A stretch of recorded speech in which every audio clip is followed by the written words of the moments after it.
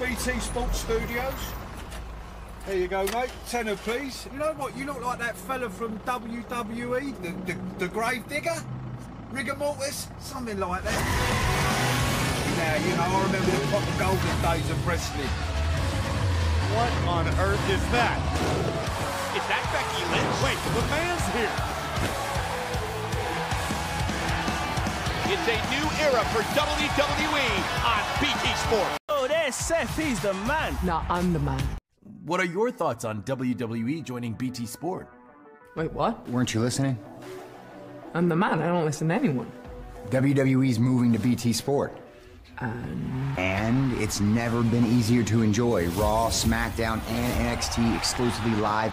Personalized highlights on the app, primetime replays, and every pay per view. Are you listening? The man approves. Check us out and come watch me and the man burn it down.